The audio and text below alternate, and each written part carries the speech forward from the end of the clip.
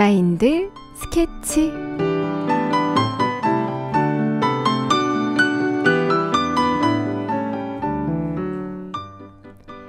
우리가 쓰는 자동차는 사실 이미 풀옵션으로 만들어져서 출고됩니다. 전기선도 연결되어 있고 기능이 다 있지만 신청한 옵션만 열어두고 다 막아두었기 때문에 기능이 없는 차로 쓰고 있는 거죠. 즉, 기능이 없는 것이 아니라 막아둔 것 뿐입니다. 우리의 능력도 그렇습니다.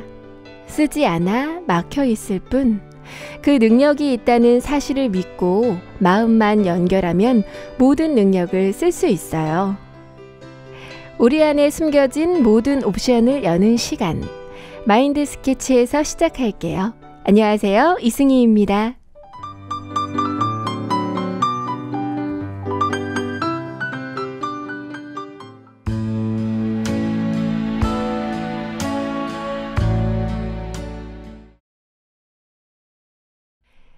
이승희와 함께하는 마인드 스케치 첫 곡은 앤 머레이가 부른 You Needed Me 들으셨습니다. 친구 같은 마인드 스케치와 오늘도 시원하고 행복한 시간 만들어 가시길 바랍니다. 마인드 스케치 일부 시간 마인드 테라피인데요. 여러분이 보내주신 사연으로 우리들의 소소한 일상과 고민을 나누는 시간, 또 마인드 강연을 들으면서 함께 소통하는 시간입니다.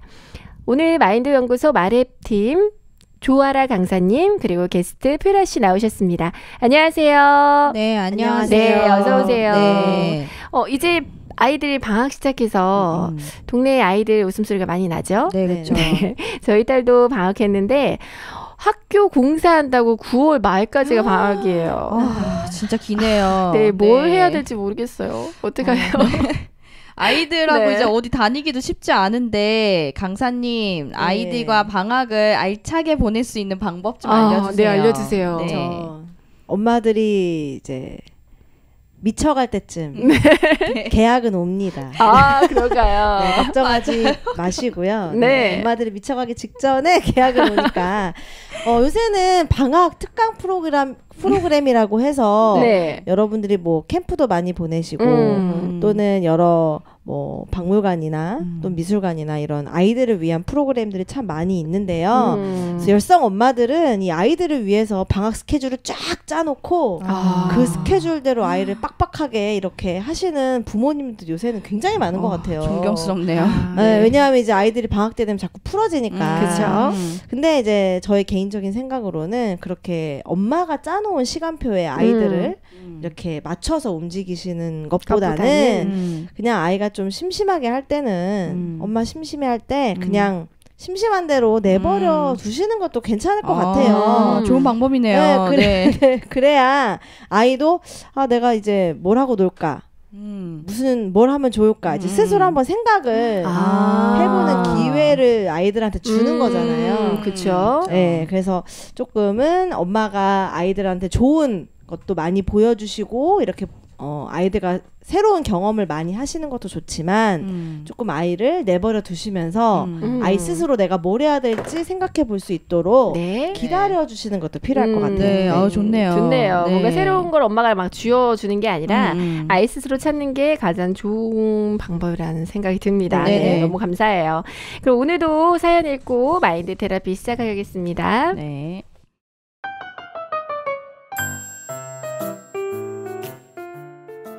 안녕하세요. 저는 고등학생 이영훈입니다.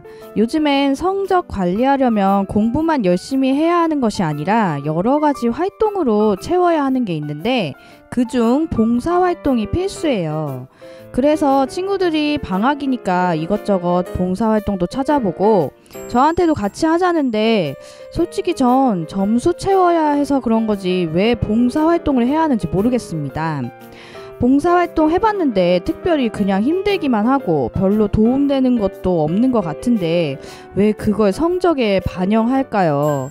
그냥 원하는 사람만 하면 될 것 같은데 그래도 친구가 미래에 투자하는 거라고 해서 지난달에 큰 행사에 같이 안내 봉사 활동을 하러 갔습니다. 그날도 내키지 않은 봉사를 하러 간 거라 별로 기분도 안 좋고 그래서 멀뚱멀뚱 서 있었어요. 그런데 한 할머니가 오시더니 팀장님을 찾으시더라고요. 뭐 안내 받으시려는 것 같아서 팀장님한테 모셔다 드렸는데 이 할머니가 봉사자라고 하시는 거예요. 순간 너무 충격받았어요. 아니 왜 나이가 많은 할머니가 봉사활동 하시지? 나야 점수가 필요해서 할 수 없이 하는 건데 나이가 먹어도 봉사활동을 해야 하는 건가? 늙어서도 이런 걸 하면 너무 싫을 것 같은데 그 할머니가 이해가 되지 않았습니다. 심지어 그 할머니는 저랑 같은 팀이 돼서 내내 봉사를 같이 했는데 할머니 얼굴에서 미소가 떠나질 않더라고요. 그러면서 본인은 봉사활동하는 게 너무 즐겁다고 하시는데 진짜 이해가 안 갔어요. 저보다 체력도 딸리실 텐데 이 힘든 일이 왜 좋다고 하시는 건지 그날부터 좀 고민이 됐습니다. 저는 앞으로 2년간 봉사활동을 더 해야 하는데 이렇게 싫어만 해도 안 될 것 같아요.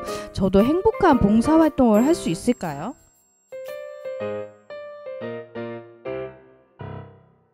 네, 자원봉사. 어, 음. 방학마다 봉사활동하는 학생들이 많이 보이던데, 어, 네. 이제 의무인가 봐요. 그쵸 음. 시간 점수 아, 딸려면 그렇군요. 네. 또 어차피 해야 하는 건데, 이왕하는 거 좋은 마음으로 하면 좋긴 한데, 음, 네. 어, 다른 사람을 도와주는 일이니까, 하고 나면 행복해 하는 분들 많이 있어요. 어, 맞아요. 저는 그걸 또 느껴본 적이 있거든요. 음. 누군가를 도왔다는 성취감과 나도 어려울 때 도움을 받을 수 있겠구나 그런 음, 생각도 들고 그쵸. 예 그래서 전 사연소 할머니가 음, 이해돼요. 맞아요. 네. 오늘 영훈이 학생 고민이 해결된다면 우리 사회가 진짜 밝아질 것 같아요. 음. 네, 강사님 도와주 세요.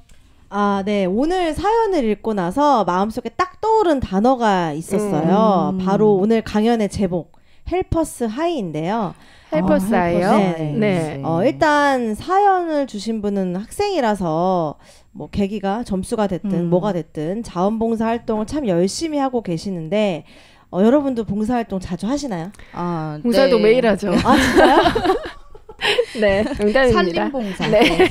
저는 이제 기회만 되면 봉사하거든요. 아. 그래서 예, 이 봉사가 이제 힘들어도 이제 네. 보람이라는 선물 주니까 중독성 아. 있더라고요. 아, 아, 진짜요? 음, 어. 대단하시네, 유라 씨. 어, 감사합니다. 진짜. 네. 네, 정말 대단하시네요. 사실 저는 이제 고등학교 다닐 때 조서 도서관에서 방학 때 장서 네. 정리했던 게 음. 저희 학창 시절 마지막 봉사 활동이었습니다. 음. 그래서 우리 영훈이 학생 사연이 너무 공감이 돼요. 음. 그때는 점수를 따려고 봉사 활동은 한 거라서 무조건 안 힘들고 편안한 그리고 쉽게 봉사 점수를 딸 수 있는 활동만 막 찾아다녔던 기억이 나요. 음. 근데 이제 우리 유라 씨 이야기를 들으니 저도 이제 본격적으로 봉사 활동을 해야 될 것 같다는 생각이 드네요. 음, 네, 네. 훌륭한 마인드를 가지신 분입니다. 네, 아, 역시 훌륭하십니다. 네. 어, 2019년도 통계청 자료에 따르면 최근 7년 동안, 그러니까 2012년에서 2017년까지 우리나라 성인 자원봉사 참여율은 꾸준히 증가하는 추세라고 합니다. 음, 그렇군요. 어, 작년에는 약 225만여 명이 자원봉사에 참여했는데요. 음. 어, 과연 어떤 연령대가 가장 많이 자원봉사 활동에 참여를 했을까요? 네, 어, 20대, 30대는 좀 일하느라 바쁠 것 같고, 네.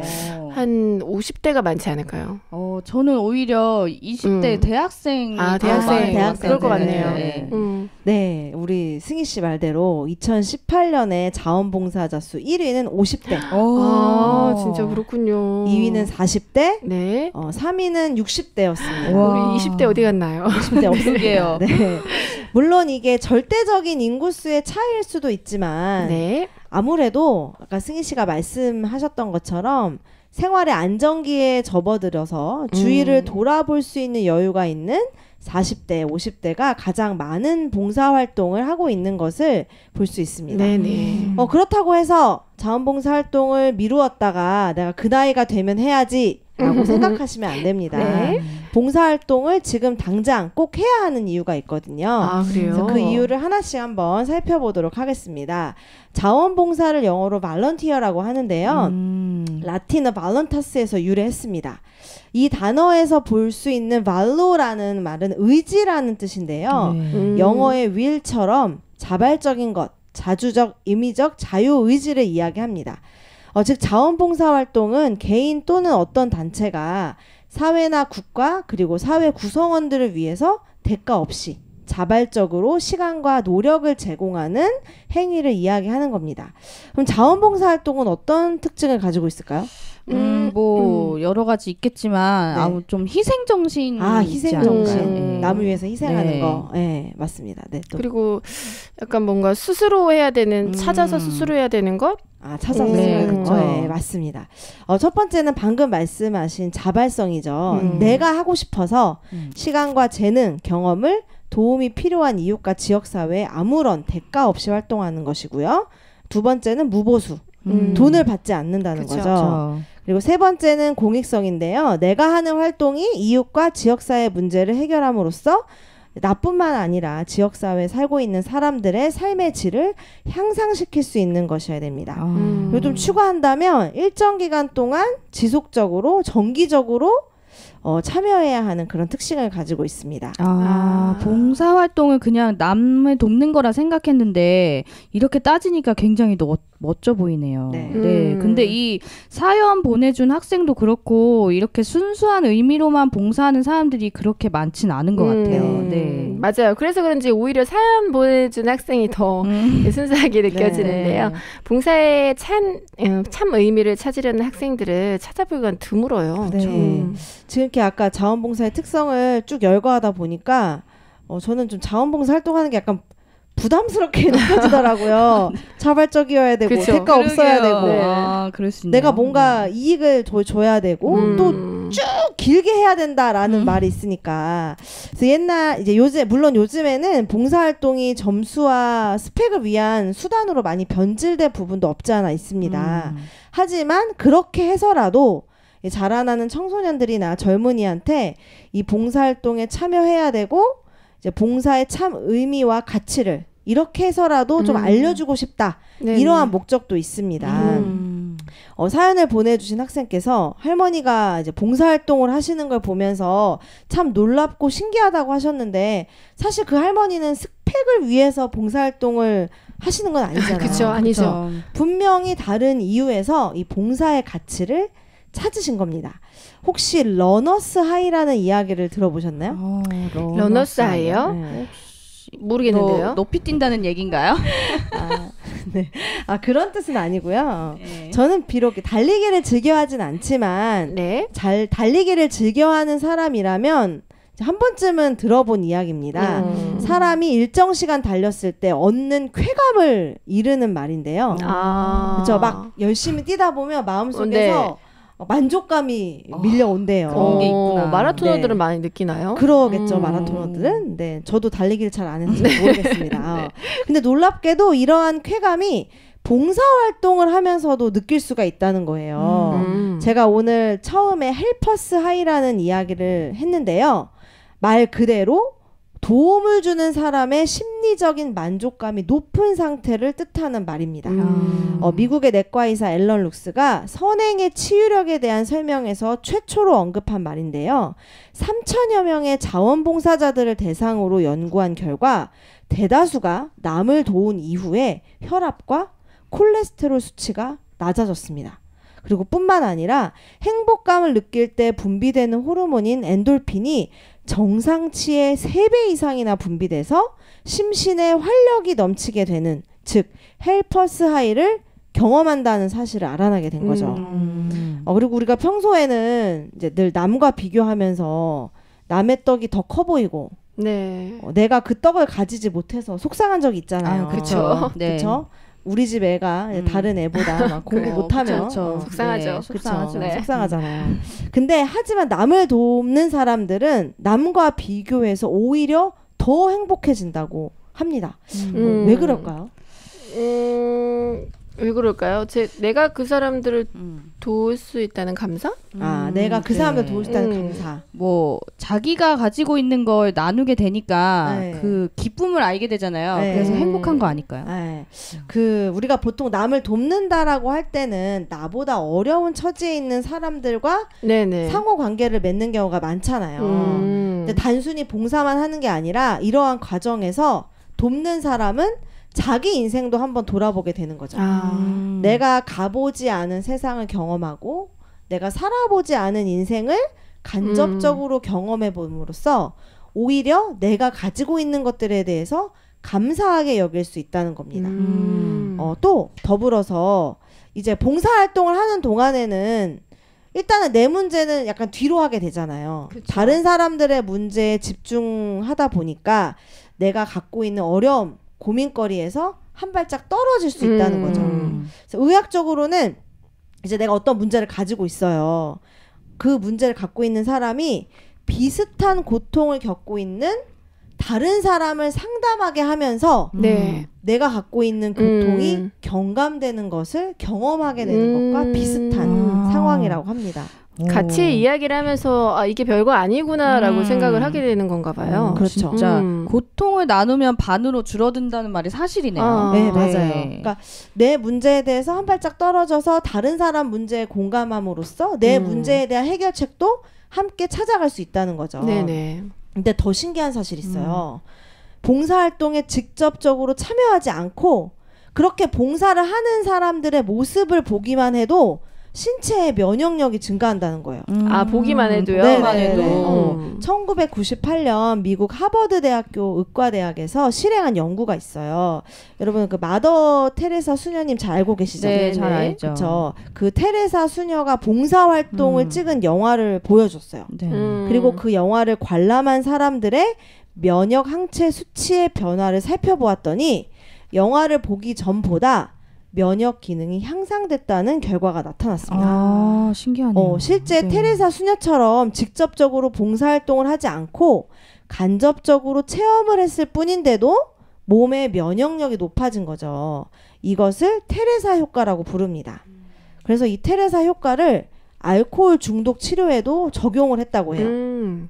이제 보통은 알코올 중독자가 치료될 확률이 22%라고 합니다. 아 낫네요. 그런데, 어, 음. 자원봉사 활동을 병행을 해서 치료를 했을 때는 치료 확률이 40%까지 올랐습니다. 음. 그러니까 결국은 남을 위해서 내가 시작한 봉사지만 네. 그것이 결국 나에게 이익으로 돌아온다는 사실을 확인할 수가 음. 있습니다. 우리 사연을 보내준 영훈 학생은 아직 어리긴 하지만 영훈 학생이 하고 있는 이런 봉사활동의 효과를 조금이나마 이해한다면 아, 봉사활동이 나한테 정말 좋은 영향을 미치는지 이해할 수 있을 것 같아요. 네. 음. 네. 오늘 강연 듣는 것만으로도 좀 네, 마음이 바뀔 것 같아요. 그러게요. 네. 음. 다시 생각해 보면 요새 현대인들은 자기만 생각하잖아요. 음. 그렇죠. 또 자기 욕망을 채우기 위해서 정말 바쁘게 살아갑니다. 이런 경우에는 더욱 더 욕구 불만이 생기고 또 뜻대로 되지 않는 일 때문에 스트레스, 우울증이 증가하고 질병에 저항하는 힘이 아주 약해집니다. 특히 요즘 청소년들은 스마트폰 중독이나 입시 스트레스에 시달리는 경우가 많잖아요. 이 사연을 보내준 학생이 그 봉사활동에 참여하시는 할머니를 보면서 놀랐다고 했는데 저 역시 봉사활동에 아주 적극적으로 참여하시는 할머니 한 분을 뵌 적이 있었습니다. 음. 제가 참여한 봉사활동이 배밭에서 일하는 봉사활동이었어요. 어, 배밭에서 백꽃 수정을 하는 음. 봉사활동이었는데요. 진짜 저 하다가 너무 너무 힘들었어요. 저도 해봤는데요. 그거 진짜 허리 해보셨어요? 아프고 어, 고개 그렇구나. 떨어지는데. 네. 네. 와 할머니가 그를 자원하셨다고요? 네, 이제 아무래도 음. 이게 몸이 힘든 일이다 보니까 어린 친구들이 많이 없더라고요. 음. 이 연세 지긋하신 할머니께서 자원에서 오셨는데 이제 봉사활동만 한 게 아니라 저는 그 할머니가 여기에 참여하신 이유가 너무 궁금해서 할머니랑 함께 이야기를 좀 나누게 됐어요. 음.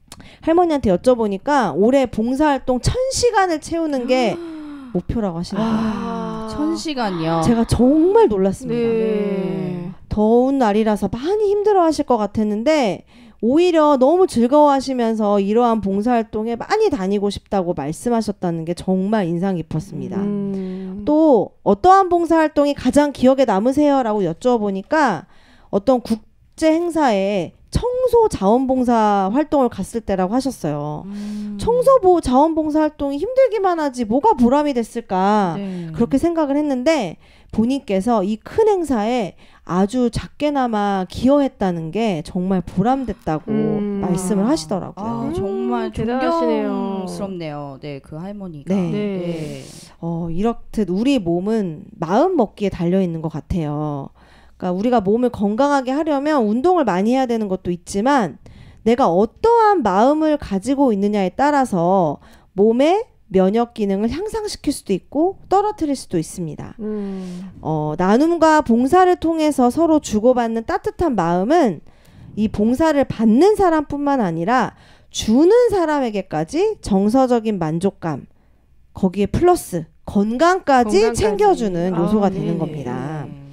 어, 사연을 주신 학생이나 제가 만났던 연세 지긋한 자원봉사자 활동 한 자원봉사자 분들은 봉사 활동을 통해서 이거를 경험한 분들이라고 할 수 있어요. 네네. 봉사 활동을 통해서 행복과 즐거움을 경험한 사람들은 앞으로 어떻게 할까요? 더 많이 하겠죠. 그렇죠. 이 남을 돕는 행복을 음. 행동을 이제 반복하게 되는 거죠. 음. 이 헬퍼 사이를 경험하고 싶어서 없는 시간을 내서 자원봉사 활동을 하고 사회적 문제에 자발적으로 나서고 지속적으로도 남에게 도움을 계속 주고 싶어 하는 겁니다. 음. 즉 헬퍼 사이는 남을 돕는 즐거운 중독이라고 할 수 있는 거죠. 아, 너무 주. 너무 좋은 중독이네요. 네. 네. 아유. 이러한 중독자들이 정말 많아졌으면 어, 음, 그러게요. 우리 우리 사회는 사회가. 진짜 밝아질 그쵸. 거예요. 네. 어, 제 동생도요, 1년간 아프리카 탄자니아로 해외 봉사를 다녀왔다가 이 헬퍼 사이를 경험했습니다. 음. 정말 그 전까지는요, 자기밖에, 자기 한 사람밖에 모르고, 어떻게 하면 내가 돈을 많이 벌까? 어떻게 하면 내가 성공할 수 있을까? 이것만 꿈고, 꿈꾸었던 젊은이였습니다. 그런데 이제는 1년에 꼭 한 번은 자기 돈을 내서 음. 해외로 아프리카로 또 이제 아시아로 의료 봉사 활동을 다니면서 정말 행복하게 살고 있다고 네, 해요. 맛을 보셨네요. 네, 정말 음. 돈 많이 들어가거든요. 해외 의료. 봉사 한번 네네. 나가려면요. 네. 그런데 너무 행복하다고 말을 하는 거 보면서 저도 테레사 효과를 경험했어요. 어. 그 행복해하는 동생의 네. 모습. 네. 막 동생이 그 해외 봉사, 의료 봉사 하면서 막 사진 같은 거 막 보내주거든요. 음. 그런 거 보면 저 역시 덩달아 어. 행복해지는 아, 그런 그러네. 경험을 어, 하게 되더라고요. 테레사 효과 하셨네요. 앞으로 네. 많이 찍어놔야겠어요. 네. 또 그것뿐만 아니라 이곳 저곳에 강연을 다니면서 음. 이 봉사활동이 얼마나 가치 있는 것인가라는 젊은이들에게 그러한 일들을 전하는 일도 함께 하고 있습니다. 음. 우리 영훈 학생도요, 그냥 봉사활동 하시면서 점수만 따지 마시고요. 음. 그 봉사에 참여하는 많은 사람들을 만나보고 많은 이야기를 들어보시면 좋을 것 음. 같아요. 네네. 그래서 그 사람들이 봉사활동을 통해서 어떻게 꿈을 가지고 어떻게 삶이 바뀌 었는지를 들어보면 또 다른 봉사의 가치를 발견하실 수 있을 겁니다. 네. 주는 것이 받는 것보다 복되다라는 말이 있죠. 그치. 우리 사연을 보내주신 영훈 학생도 봉사활동을 통해서 꼭 헬퍼 사이를 경험해 보시기 바랍니다. 어, 제 강연은 여기까지입니다. 네, 감사합니다. 감사합니다. 네, 영훈이 학생이 보내주신 사연으로 저도 헬퍼 사이를 경험해보고 싶다는 네. 생각이 들었습니다. 오늘 강연 너무나 감사했고요. 진정한 봉사가 무엇인지 음. 또 사연을 보냈다는 거는 본인이 그만큼 생각을 한다는 거겠죠. 네네. 네, 그래서 우리 영훈이 학생 앞으로 정말 훌륭한 봉사자가 될 수 있을 것 같은데 네네. 그 전에 강사님 말씀해주신 것처럼 어, 주변에 봉사자들 행복하게 봉사하시는 분들의 이야기도 많이 듣고 음. 같이 마음을 문, 나눈다면 또 테레스 효과도 경험할 수 있을 거라는 생각이 듭니다. 네네. 네, 그래서 영훈이 학생도 꼭 헬퍼 사이를 경험해 보시고 나중에 지금은 이제 어리잖아요. 나중에. 대학교 가서 해외 쪽으로 또 아우, 봉사를 최고죠. 봉사의 눈을 돌려보면 네. 좋을 것 같습니다. 그러면 너무나 많은 걸 얻을 수 있을 네. 것 같아요. 네, 유라 씨 강연 오늘 어떻게 들으셨나요? 네, 뭐 오늘 영훈이 학생뿐만 아니라 이. 청취자분들이 정말 봉사에 대해서 극혐을 가지고 있었더라도 네. 마음이 많이 바뀌셨을 것 음. 같아요. 네, 이 봉사 정말 봉사 중독이라는 게 네네. 얼마나 좋은지 네. 다시 한번 일깨워 주셔서 너무 감사했습니다. 네, 감사합니다. 오늘 네. 강연 듣는 것만으로도 우리가 테레스 효과를 경험한 것 같습니다. 네네. 네, 너무나 감사한 시간 됐고요. 오늘도 두 분 보내드려야 될 시간입니다. 네, 네. 나와주셔서 감사합니다. 네, 안녕히 계세요. 저는 노래 듣고 입으로 찾아올게요. 방탄소년단이 부릅니다. I'm fine.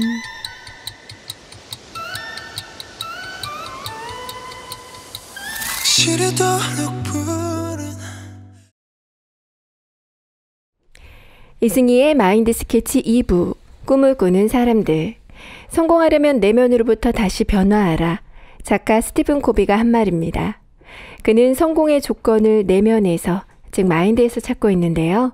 성공한 사람들이 가진 그들만의 특별한 마인드를 소개하는 꿈을 꾸는 사람들. 오늘의 주인공은 누구일까요?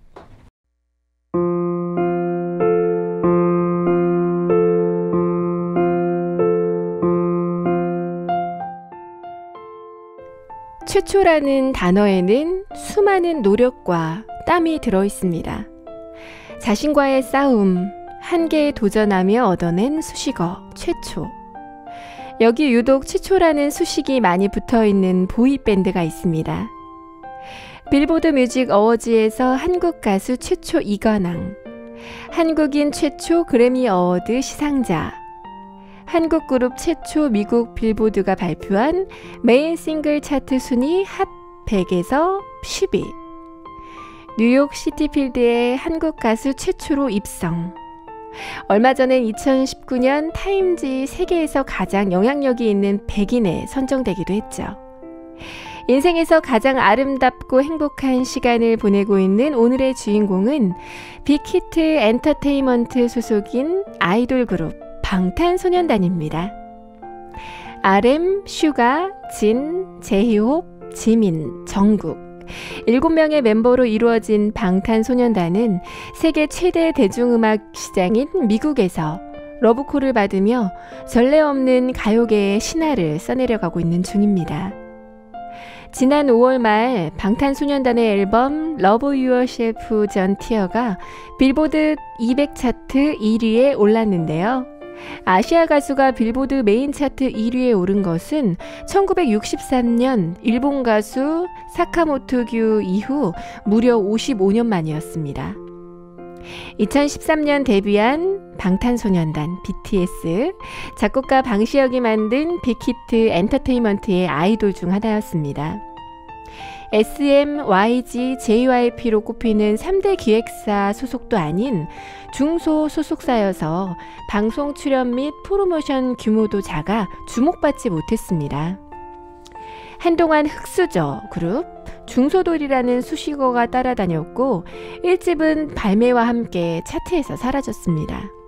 데뷔 초기엔 정통 힙합 그룹 콘셉트로 나와 대중성이 떨어진다는 평을 받았죠.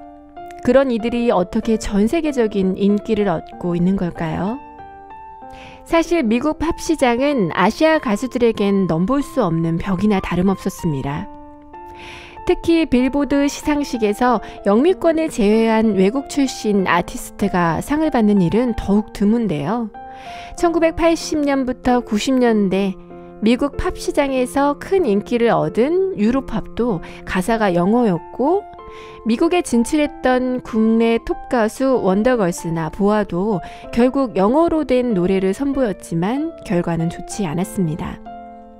이처럼 미국 팝 시장에서 아시아권 언어로 만들어진 노래가 인기를 얻기란 불가능에 가깝지만 방탄소년단은 2015년부터 발매한 주요 곡을 한국어 가사의 노래로 꾸준히 빌보드 차트에 진입을 시켰습니다.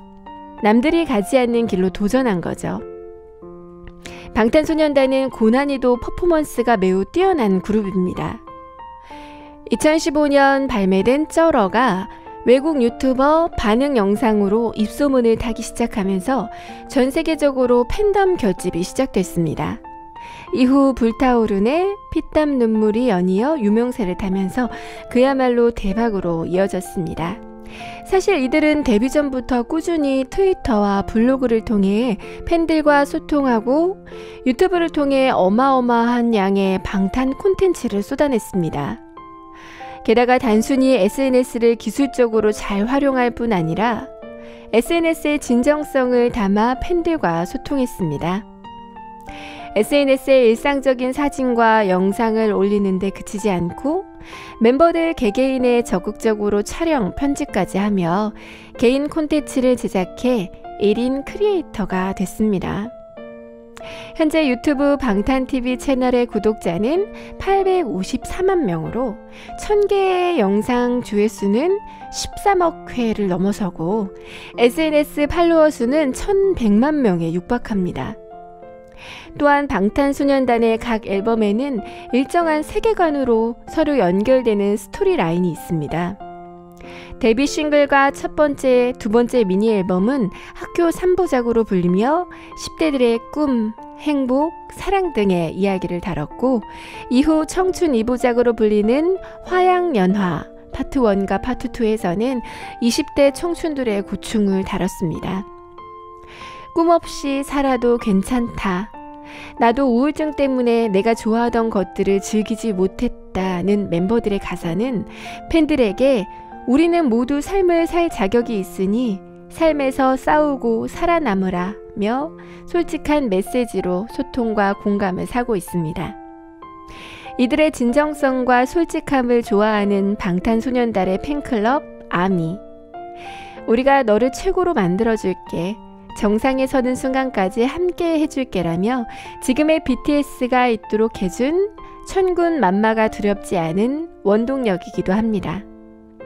또 끊임없이 소통하고 함께하며 기쁨과 역경을 함께 나눈 BTS의 멤버들은 같은 꿈을 꾸며 한 곳을 바라보고 달려가고 때론 서로 기대며 힘을 얻습니다. 살인적인 스케줄에 탈진에 쓰러지고 크고 작은 부상에 시달리며 온몸에 스포츠 테이프와 얼음 주머니를 달고 살지만 그들은 무대에 오르면 자신의 모든 에너지를 쏟아냅니다. 총알을 막아내는 아이들이라는 뜻으로 사회적 편견, 억압과 맞서 싸워 당당히 자신들의 음악과 가치를 지키겠다는 방탄소년단. 끝나지 않은 그들의 도전은 수많은 결실을 맺으며 새로운 길을 열어가고 있습니다.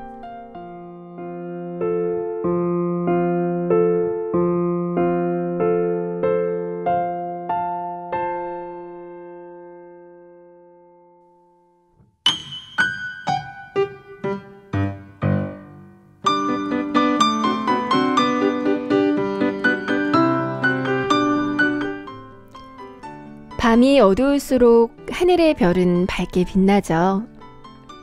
그런데 밝은 조명들로 둘러싸인 도시의 밤하늘에서는 별빛을 찾기란 쉽지 않아요. 우리의 행복도 밤하늘의 별처럼 우리 삶 곳곳에 숨어 있지만 내 눈을 가리는 세상의 유혹들 앞에서 그 빛을 잃어가는 거 아닐까요?